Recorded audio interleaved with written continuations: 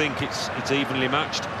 We've got to hand it to this boy. He has got that instinct for knowing exactly where to position himself in the box. Lewandowski! And they scored again!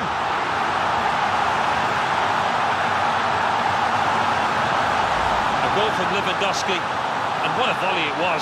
The keeper wasn't too far away, but it was far too powerful for him.